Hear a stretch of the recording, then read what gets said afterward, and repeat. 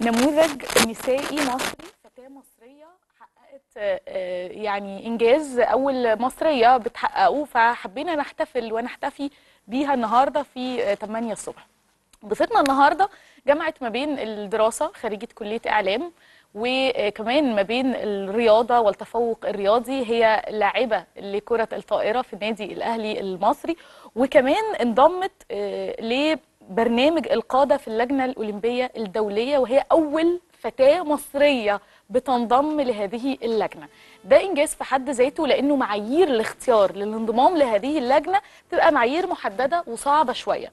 طبعا التفوق ده والإنجاز ده ما جاش بسهولة وما جاش بين يوم وليلة لكن سبقوا خطوات كتيرة جدا تعب وأحلام وطموحات حققتها على أرض الواقع. ماجستير في الرياضة وتفاصيل كتير جدا في هذه الرحلة اللي بنحتفل بتتويجها النهاردة ضيفتنا الكريمة سارة مؤمن أول فتاة مصرية بتنضم لبرنامج القادة في اللجنة الأولمبية الدولية. أهلا بيك يا سارة صباح الفل وألف مبروك انضمامك للجنة. شكرا قوي ربنا يخليكي الله يبارك فيكي وأنا مبسوطة جدا إن أنا موجودة معاكم إحنا النهارده كمان مبسوطين واهلا بيكي يا سارة. وخلينا نبتدي ونعرف الناس برحلتك كبطلة من بطلات الكرة الطائرة في النادي الأهلي. Okay آه زي ما أنتوا قلتوا أنا كنت بلعب volleyball في النادي الأهلي المصري. أنا former athlete أنا already اللي هو اعتزلت بقالي ثلاث سنين تقريبا.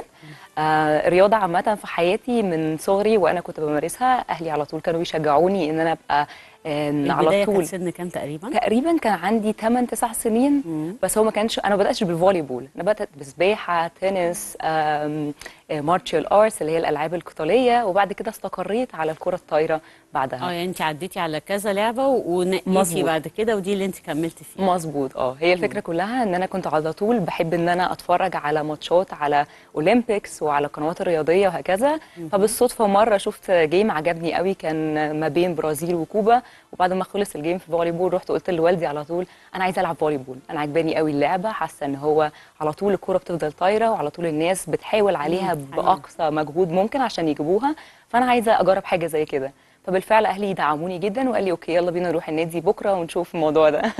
فعلى طول رحت واه بدأ- يعني اللي يتفرج عليكي بجد مش محتاج يعرف ال CV بتاعك فيه إن انت خريجة كلية إعلام لأنه ال attitude والأداء وطريقة الكلام باينة. يعني باينة دي خريجة إعلام دي شكل مذيعة محتملة يا جماعة. دراسة الإعلام فرقت كمان في اختيارك لل career بتاعك أو في مستقبلك إزاي انت بتحبي الإعلام وبتحبي الرياضة في نفس الوقت. وجمعتي ما بينهم إزاي؟ okay هي الفكرة زي ما انت قلتي فعلا إن أنا بحب الإعلام جدا من وأنا صغيرة. كنت على طول بحب أعمل interviews مع أهلي وأقعد أسجل لهم وأقول لهم طب أنا هعمل معاكم النهارده حوار مهم جدا وأقعد أعمل الحاجات دي بصي كلها. على البوديوم واقفة لا مذيعة يا جماعة. بس فالفكرة كلها إن أنا كنت من صغري خالص وأنا قلت لأهلي إن أنا أنا عايزة أبقى مذيعة أنا عايزة أدخل كلية الإعلام عشان هي كلية قمة plus كمان أنا بحب الحتة اللي هو أقعد أتكلم مع الناس وأتعرف عليهم وهكذا. بس فدخلت إعلام فعلا الحمد لله وحققت هدف من أهدافي. آه، وزي ما أنت قلتي بحب الإعلام والرياضة فكنت بحاول أشوف إزاي أقدر أ mix ما بين أكتر حاجتين بحبهم أيوه في حياتي. كلمينا عن ال media sports أو sports Exactly. عملتي ده ال- ال- الخلطة دي إزاي؟ هي الفكرة كلها إن أنا فعلا ما كنتش خالص يعني بفكر إن أنا أدمج ال sport وال media مع بعض. ولكن هي جت بعد ما أنا تقريبا عديت أول ثلاث سنين في الجامعة وابتدت الناس ت recommend ليا سارة انت already بتلعبي رياضة وانت already في إعلام. طب في مجال جديد اسمه ال sports media. طب ليه ما تبدأيش تفكري فيه تدرسيه أكتر تعرفي عليه أكتر وتشتغلي فيه؟ ففعلا من هنا ابتديت إن أنا شوية أبحث عن الموضوع تعرف إن في حاجة اسمها sports media.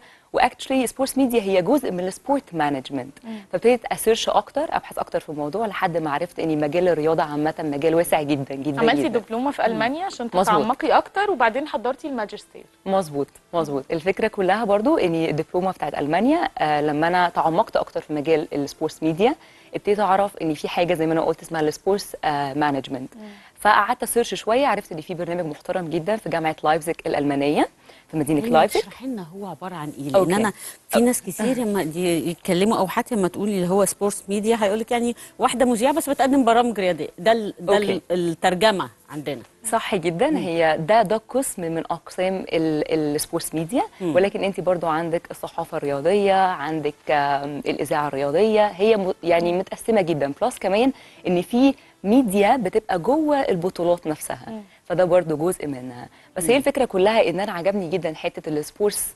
management اللي منها جزء ال sports media فابتديت أت... أت... يعني اسمها إيه؟ أتوسع فيه. مظبوط.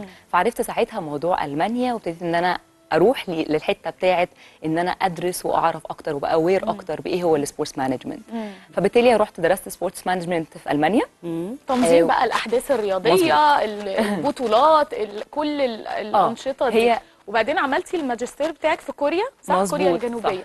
الخطوه. اللي كانت مؤهلة ليكي لانضمامك للجنة آه، أو برنامج القادة في اللجنة الأولمبية الدولية. انت قلتي لي إن في معايير صعبة للاختيار. مظبوط. كانت إيه بقى ال- الخطوة اللي أهلتك فعلا للانضمام ليها؟ بصي هو أنا مش هقدر أقول إن هي خطوة واحدة هي اللي أهلتني لده ولكن هي process على مدار السنين كنت بجهز لها علشان أقدر أوصل لحاجة زي كده.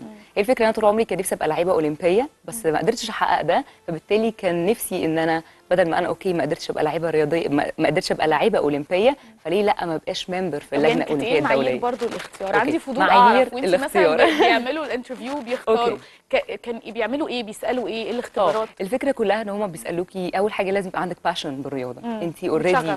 بالظبط. عندك شغف بالرياضة بتحبي الرياضة عايزة تستخدمي الرياضة دي عشان تبقى أداة فعالة إن أنت تعملي من خلالها حاجة مميزة في العالم تقدري إن أنت تحسني بيها حياة ناس كتيرة محتاجة إن هي تتحسن. آه فأنا طبعا أنا أصلا into جدا الحتة برضو اللي اسمها sports for development الرياضة من أجل التطوير وده جزء من ال sports management فكنت حابة جدا إن أنا أعمل حاجة من خلال الحاجة اللي أنا بحبها أقدر أفيد بيها الناس اللي حواليا. فبالتالي ده كان حاجة من الحاجات اللي أنا شغوفة بيها في الرياضة فبالتالي وهم بيعملوا هل الفترة اللي انت قضيتيها في الاتحاد الإفريقي كانت برضو نقدر نقول إن هي خطوة هامة إن انت تقدري تدخلي في أكيد اللجنة؟ أكيد طبعا من غير كلام. كل خطوة أنا عديت بيها في حياتي سواء الدراسة سواء ال- الشغل في الاتحاد الإفريقي للكرة الطايرة آه سواء آه مثلا آه دي وجودي كلاعبة. خبرة بقى على أرض الواقع مظبوط. يعني؟ مظبوط. هي كل ده بيأهل. يعني في الأول في يعني at the end of the day انت كل حاجة بتأهلك علشان تاخدي الخطوة الكبيرة بتأهلك عشان تبقي مثلا part من اللجنة الأولمبية الدولية. فبالتالي أنا بعتبر إن كل خطوة أنا عديت بيها هي كانت خطوة لقدام علشان من أقدر أول ما. انضميتي للجنة وده آه. كان مرحلة وخطوة فارقة في حياتك مظبوط. طبعا. آه، بقالك دلوقتي دي أول سنة ليكي. عملتي إيه؟ غيرتي في إيه؟ نفسك تغيري إيه كمان في المجتمع okay. الرياضي المصري؟ آه. هي الفكرة كلها كلها برضو إن اللجنة الأولمبية الدولية اللي هو برنامج القادة الشباب هو بيختار 25 شاب وورلد وايد من حول العالم آه من بلدان مختلفة. تمام؟ كل واحد بيبقى عنده شغف بحاجة معينة أو ليه فكرة معينة عايز يطبقها في مجتمعه عشان يفيد مجتمعه بيها من خلال الرياضة. فأنا فعلا كان في عندي فكرة كده متواضعه جدا إن أنا كنت عايزة أحققها وبالتالي دي كانت برضو من الحاجات اللي أدت لي أنا تقوليها لنا ولا هي طبعا ما فيش مشكلة؟ لا لا it's fine طبعا ما فيش مشكلة تمام. بس هي الفكرة إن أنا من من بقالي فترة طويلة إن أنا آه أنتوا الحتة بتاعه اللاجئين. آه فطبعا في دلوقتي يعني آه زي ما نقول إن توجه كبير جدا لدعم اللاجئين في العالم كله. وكمان اللجنة الأولمبية الدولية عندها برامج مخصصة للاجئين. فكل الفكرة إن أنا كنت عايزة أستخدم الحاجة اللي بحبها الرياضة في إن أنا إزاي أقدر أفيد الناس اللاجئين اللي موجودين في مصر علشان آه، يعني نخليهم إن هم يتمكنوا من إن هم يوفركم كل حاجة هم عدوا بيها خلال الفترة اللي فاتت من حروب وتغيير مكان وإن هم يعيشوا في بلدان مختلفة عن بلادهم وهكذا. فهي دي بس الفكرة إن أنا قدمت بيها وإن أنا كنت متحمسة جدا وأنا بتكلم عليها كأنها عارفة يعني آه، اللي هو طفلي الصغير الحماس ف- وصل والفكرة وصلت و... وعايزة أقول أنا كمشاهد بقى دلوقتي أقدر أقول لك إن انت ممتعة. يعني آه، فعلا على. الشاشة. أعتقد إن برضو الساده المشاهدين هيبقى عندهم رأي كده فده مكانك. فارجوكي يعني خدي مكانك قريب جدا. شكرا لوجودك. معانا. سارة مؤمن أو المصريه ب... أو قيادة شابة في برنامج اللجنة الأولمبية. شكرا شرفتينا وأفدتينا وأمتعتينا. شكرا جدا. من ذوقك والله. خلينا نخرج لفاصل ونرجع نكمل مع حضراتكم.